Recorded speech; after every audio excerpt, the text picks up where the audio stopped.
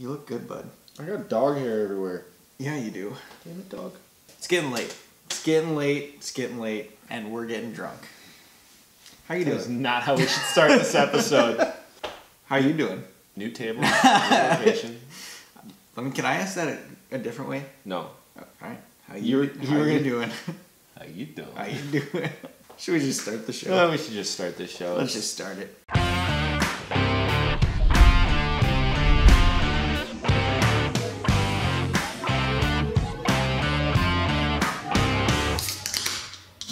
Sound.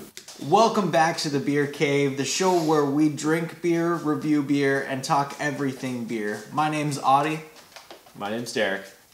and today we're going to be talking about some of the first beers that we ever had. But before that, let's crack a beer. Let's do it.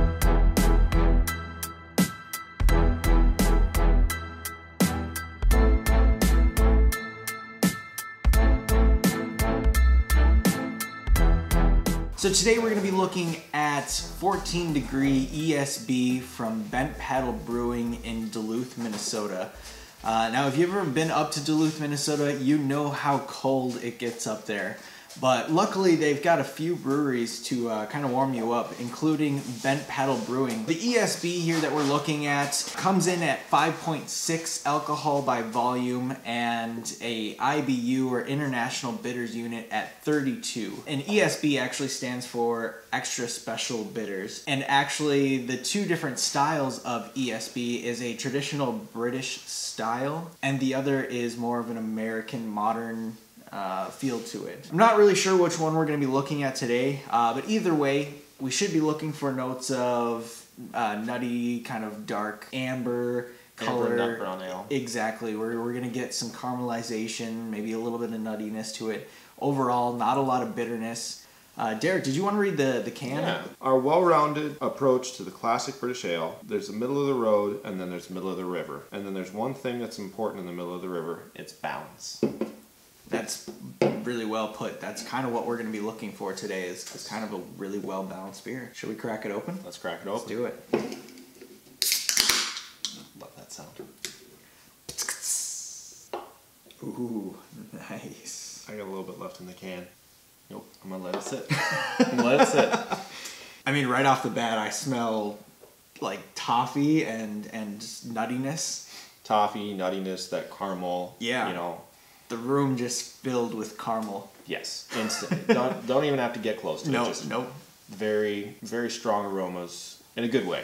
Mm-hmm. Very good way. Right off the bat, like a good two fingers of head. Very rocky head. Now, when we talk about a rocky head, uh, we don't mean don't go down that road.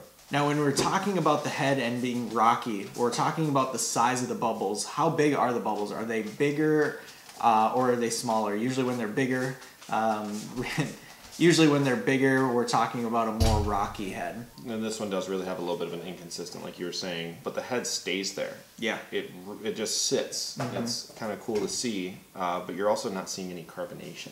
Yeah, uh, when we look through it, there's not. I mean, I can see the bubbles a little bit, but that's because I'm holding it up to the light. Um, if you were to just have this sitting, you wouldn't couldn't tell that there's a lot of carbonation sitting in the Yeah. liquid. But what color is this? This is like a kind of like a tan brown, Tan brown, little bronze. bronze. Oh yeah, like a shiny penny. Yeah. Yep. Very, very, a little bit of orange to it, but not. Yeah. Not much.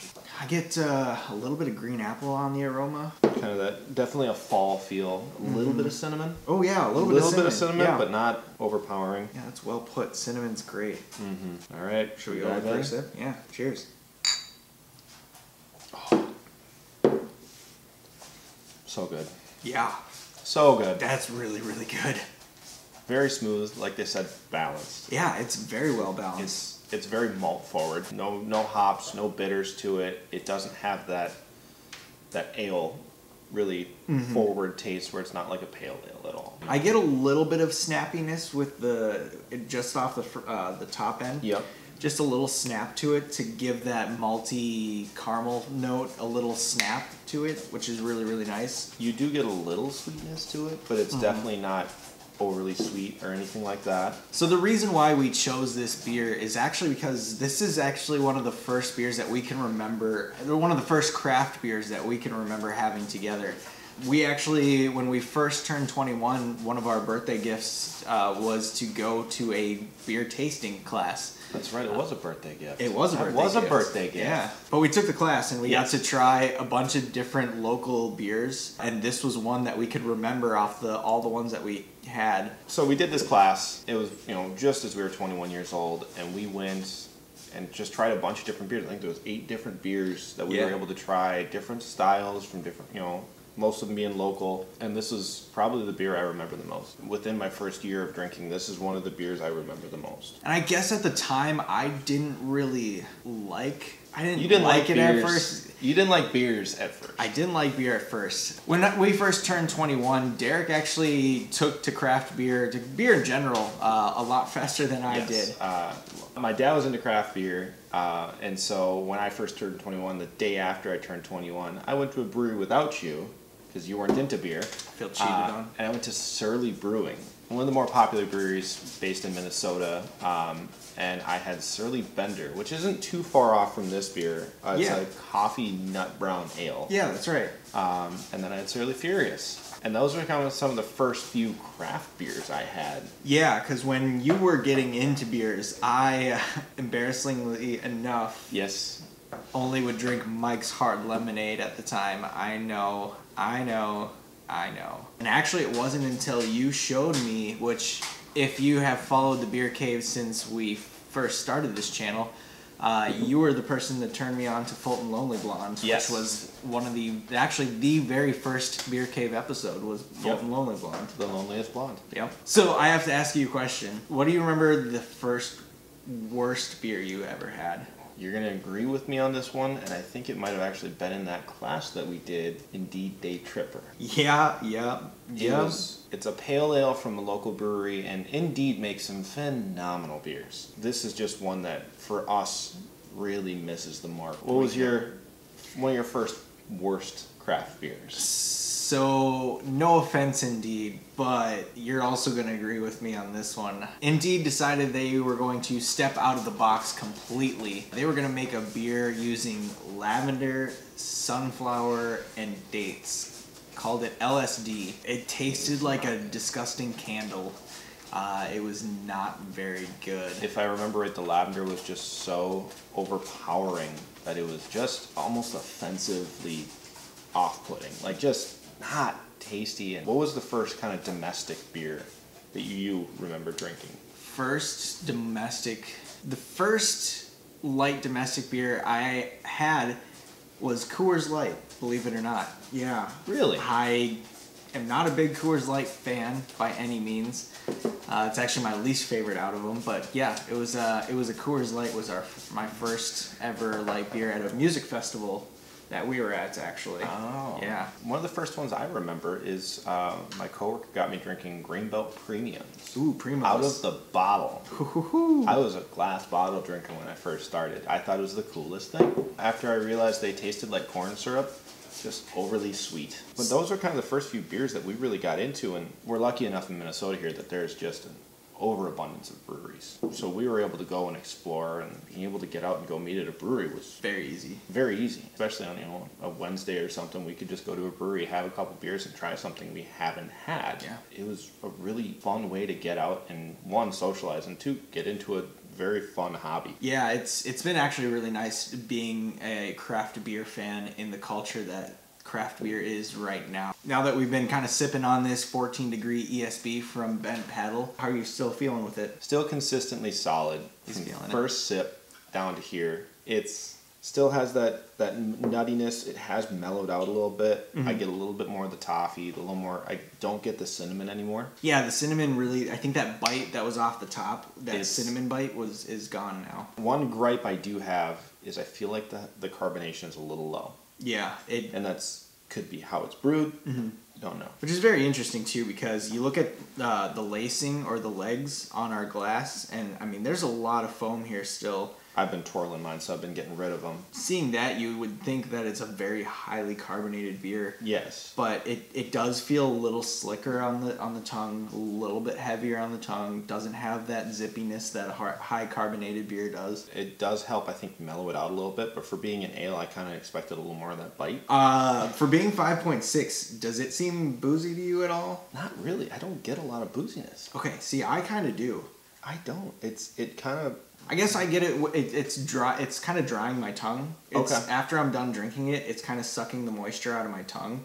So I'm, I'm wanting to go back for more, um, which is actually really good. I, I Yeah, enjoy that 'cause I, absolutely. I'm loving drinking this. oh, this is a phenomenal beer. Part of me doesn't want to overdrink it because then I'll get sick of it. So it's just a good beer to go back to from now and again, knowing it's going to be a just solid beer. Yeah. You know, You know what I would love to do with this beer? I'd love to be sitting in a, like a British pub drinking this beer, eating uh, some um, some kind of like sausage dish or something like that. Good. Oh wow, that was really Good. poor. Good. Don't don't give me a good push. Don't no, don't give me that. That was that was awful. Good. But no, just sitting in an, a, a British pub having a, a I know bratwurst are a German thing, but some kind of sausage link with some kind of potato, uh, like some kind of potato side dish, and drinking this beer. Some fish and chips. fish- oh my gosh! Fish and chips. fish and chips with this would be phenomenal. Yes. Just in a kind of a low lit British pub, fish and chips. Like a Friday evening. Yep, You know, this just is perfect. just as it's starting to get a little chilly.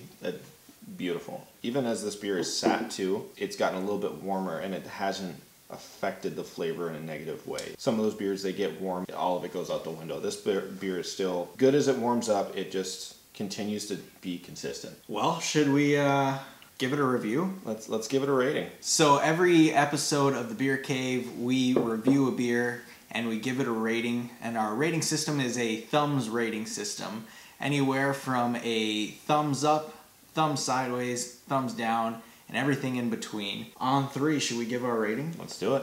Uh, one, two, three. Yeah, no surprise there. No It's surprise. Very, very solid beer. I love the the roasty, or not even roasty. I keep wanting to say that, but it's almost like like like caramel. Caramel's kind Mm-hmm. of like that burnt sugar, um, kind of molassesy Yep. kind of feel to it, and I Absolutely. love those flavors, especially in the cold winters that we get here in Minnesota. It warms you up. It kind of gives you that that homey feel to it. That's why I gave it a thumbs up. I gave it a thumbs up just because it's, like I said, it's consistent beer. You can go back to it every time, know what to expect, and we have drank this over the years, and it's every time I look forward to it. It's it's a, a simple pleasure that you get from a brewery, and it's very tough to do. That was 14 degree ESB from Bent Paddle Brewing in Duluth, Minnesota. Let us know if you've ever had this beer. Uh, we definitely want to hear from you and, and, and hear what you thought of the beer. So drop a little line in the comments and let us know what you thought of it or what you thought of this episode. We're always taking notes and trying to better our, our show. Also, if you could hit that subscribe button, hit that like button, and also hit that notification bell so that when we upload a video, you know about it. Also, don't be afraid to let us know if there's beers you want us to review. If you think of something that we would want to try, let us know. On that note, Cheers. cheers. Uh. There you go. There we go. Good push, bud. Thank you. Good push.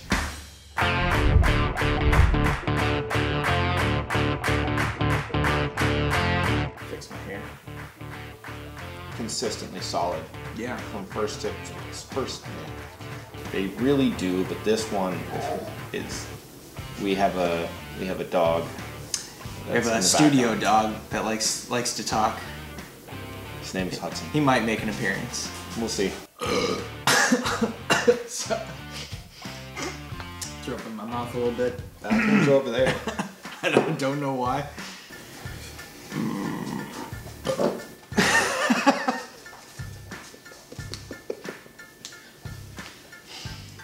Making space. Yeah. Making space. You, you got a hair. Oh. Just to get that. I got it. So when I first turned 21, uh, Derek had already dabbled. Well, when Let's I said that, I was like, "Oh God, I'm digging myself into a hole."